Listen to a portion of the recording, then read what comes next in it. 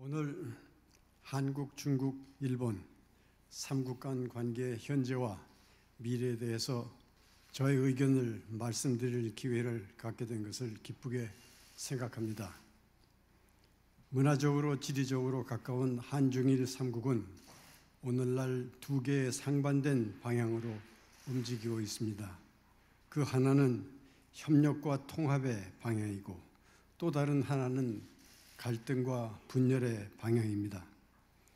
통합으로의 움직임은 삼국 사이에 증대하는 경제적 상호 의존성, 그에 동반하는 협력의 필수성, 확대되는 민간 사회의 네트워크와 인적 교류 등에 의해 동력을 받고 있습니다. 그러나 유감스럽게도 한중일 삼국은 그보다도 더 강력한 요인들, 민족주의적 감정, 과거의 부담, 그리고 지정학적 이해타산과 안보적 고려가 지배하는 정책에 의해 갈등의 길을 가고 있습니다.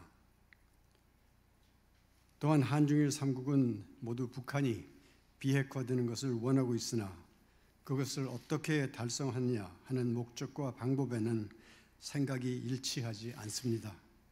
중국은 북한의 비핵화를 원하고 있으나 이와 동시에 한반도에서의 급변 사태와 무력 충돌을 우려하고 있습니다. 일본은 북한이 핵무기와 운반 수단의 개발에 위협을 느끼면서 그것을 미국과의 동맹 강화, 일본의 군사력 증강의 이유로 삼고 있습니다. 한국은 북한으로 어느 나라보다도 북한으로부터 어느 나라보다도 큰 위협을 느끼고 있으며 그 이유는 한반도에서의 세력 균형의 변동, 지역에서의 핵무기 확산 가능성, 무력 충돌 가능성, 그리고 대규모 핵 참사의 가능성 때문이라고 하겠습니다. 이러한 삼국에 일치하지 않는 목표와 어프로치는 중일한 삼국뿐 아니라 미국을 포함하는 사국 관계에도 어려움의 요인을 제공하고 있습니다. 역사적 문화적으로 한중일 삼국은 공유하고 서로 주고받은 것이 많습니다. 중국은 한국과 일본에 문자를 주고 유교적 전통을 제공했습니다. 일본은 19세기 이후 경제 발전과 공업화의 모험, 모범과 진로를 보여주었습니다. 한국은 중국으로부터 문화적 혜택을, 일본으로부터 경제 발전 방법의 혜택을 받았고, 중국과 일본 간의 교량과 소통의 역할을 해왔습니다. 한중일 삼국은 경제적으로 뿐만 아니라 문화, 기술, 환경, 자원 등의 비정치적 분야에 있어서 서로 협력하고 교류 유대함으로써 상호 얻을 수 있는 이득이 막대합니다. 동시에 그러한 기능적 비정치적 교류는 궁극적으로 정치적 갈등을 완화하고 극복하는 데도 도움이 된다고 할 것입니다. 따라서 저는 이 자리에서 한중일 삼국의 관계를 더욱 생산적이고 평화적이고 과실 있는 것으로 만들기 위해서 다음에 세 가지 방안을 제안합니다. 첫째는 삼국 관계에서 정치적인 문제와 비정치적인 문제를 분리하는 것입니다. 둘째는 삼국이 그들 간의 관계에 있어서 과거보다는 미래 지향적이 될 것을 제의합니다. 셋째는 삼국 관계에 있어서 한중일 삼국은 특히 젊은 세대, 청소년 세대 간의 우호와 교류 협력을 강화할 것을 역설합니다. 과거의 중일, 한일, 한중 관계에 있어서 정경 분리라는 말을 많이 들었습니다. 정경 분리라는 말 그대로 정치와 경제를 분리한다는 뜻입니다. 국가 간 관계에서 협력 사업을 정치 군사적 문제와 연계하지 않고 분리하여 추진한다는 것이며 이것은 정치적, 군사적, 안보적 관계가 좋고 나쁜 것에 상관없이 특히 민간 차원의 경제 교류와 협력을 차질 없이 지속적으로 추진하는 것이 상호 이익에 부합하다는 인식에서 출발한 방안입니다. 우리는 정경 분리에서 더 나아가 정치와 경제뿐 아니라 정치와 비정치, 즉 경제, 문화, 기술, 환경, 재해 극복, 인적 교류, 자원 등 각각의 기능적 분야별로 교류 협력을 분리하는 것이 필요합니다. 첫째, 교육 문제와 관련하여 한중일 3국은 세계 경제의 20%, 아시아 GDP의 70%를 차지하며 그들은 각자 양자간 교역에서 상호 간의 1위 또는 1위에 가까운 위치를 차지하는 무역 상대국일 뿐만 아니라 3자간 무역은 전 세계 무역량의 18% 이상을 차지하는 거대한 무역군이라고 볼 수 있습니다.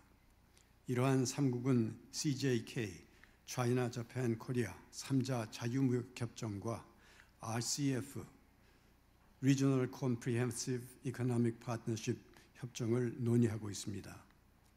TPP, Trans-Pacific Partnership에서 미국이 탈퇴했지만 결국은 중국과 한국도 그것에 가입하여 한중일이 공동의 이익을 추구할 것으로 예상할 수 있습니다. 지금 논의하고 있는 FTAAP, Free Trade Area of the Asia Pacific, 아시아 태평양 자유무역 지대에도 3국이 같이 참여할 수 있기를 기대합니다. 둘째, 재정적인 협력과 인프라 투자와 관련해서는 중국이 주도하고 있는 AIIB, 아시안 인프라스트럭처 인베스트먼트 뱅크에 한국은 이미 주요 멤버로 참여하고 있으며 일본도 머지않은 장래에 가입할 것으로 기대하고 있습니다. AIIB가 ADB, Asian Development Bank와 경쟁 관계가 아닌 협력자 관계로 발전할 때 한중일 3국이 동북아 지역뿐 아니라 아시아 전 지역의 인프라 구축과 재정 안정에 기여할 수 있을 것입니다. 셋째, 한중일 3국은 자연재해 대응, 산업 및 핵 대형 사고, 테러 행위, 사이버 공격, 핵 확산 방지 등에 서로 협력함으로써 동북아 지역뿐 아니라 아시아 전체에서의 인간 안보, human security에도 증진에도 크게 기여할 수 있을 것입니다. 이미 아시는 바와 같이 내년에는 한국에서 2018 평창 동계 올림픽 올림픽이 예정되어 있으며 2020년에는 도쿄 올림픽, 2022년에는 베이징 동계 올림픽이 예정되어 있습니다. 이렇게 한중일이 4년에 걸쳐 세 번의 올림픽 게임을 주최한다는 사실은 우리 세 나라의 세계적인 위상을 과시하는 것뿐만 아니라 그만큼 서로 협력하고 화합해야 할 필요가 있다는 점을 강조하고 있습니다. 넷째, 한중일은 환경과 에너지 문제에 있어서 서로 협력해야 합니다. 앞으로 삼국의 에너지 수요는 기하급수적으로 증가할 것이며 이는 우리가 에너지 개발과 탐색, 확보, 운반, 저장 등에 있어서 협력해야 한다는 것을 의미합니다. 핵 에너지의 안전에도 협력이 필요합니다. 에너지 등 자원 확보와 사용은 환경 보존에도 큰 영향을 주며 오염 방지와 깨끗한 에너지 개발에도 삼국이 긴밀히 협력해야 합니다. 정경 분리로 비정치적인 분야, 정치적인 분야에서 우리는 협력의 습관과 규범을 습득할 수 있을 것입니다. 인적 교류 면에서 우리 한중일 삼국은 2015년 기준으로 2,400만 명이 상호 방문을 했으며 2020년에는 그 숫자가 3천만 명이 넘을 것으로 예상되고 있습니다. 이러한 인적 교류는 상호 간의 이해를 증진시키고 서로의 문화와 경제를 부유하게 만들어 줄 것입니다. 본인이 두 번째로 강조하고 싶은 것은 이렇게 깊고 넓은 관계를 갖고 있는 우리 삼국은 과거에 대한 집착에서 벗어나 미래 지향적인 태도를 가져야 한다는 점입니다. 이는 또 우리가 미래 각국의 운명과 우리 지역의 평화와 협력 그리고 번영을 짊어질 젊은이들, 청소년들이 좀 더 개방적이고 우호적인 태도를 갖도록 유도할 필요가 있다는 것을 의미합니다. 이를 위해서는 그들이 자신들뿐만 아니라 서로에 대해서 더 잘 알고 상호 간 많은 교류를 갖는 것이 필요할 것입니다. 셋째로 한중일은 공히 젊은 세대에 대해서 더 많은 기대를 갖고 더 많은 관심을 가져야 할 것입니다. 그들은 기성세대보다 월등히 세계화되어 있고 재능 있고 개방적이고 자신감에 넘치고 활력 있는 세대입니다. 그들은 삼국 관계에도 커다란 임팩트를 줄 뿐만 아니라 앞으로의 관계를 만들고 발전시켜 나갈 사람들입니다. 2011년 3월 일본의 동북부 지역에 대지진과 쓰나미 재해가, 재해가 있었을 때 지원에 앞장섰던 것도 한국의 젊은이들이었습니다. 오늘의 한류와 케이팝을 애초에 만들어주고 키워준 것은 일본과 중국의 젊은 팬들이었다고 해도 과언이 아닐 것입니다. 이에 대해서 한국인들은 중국과 일본에게 감사의 마음을 갖고 있습니다. 젊은이들이 서로에게 긍정적이고 우호적인 태도를 갖게 될 때 앞으로의 삼국 관계는 밝은 것이 될 것입니다.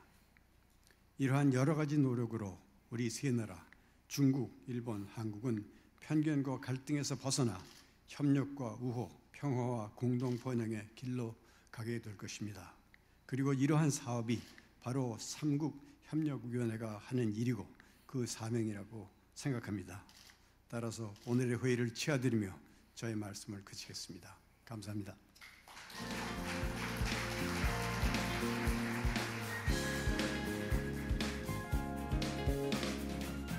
Thank you, Mr. Han, for your remarks.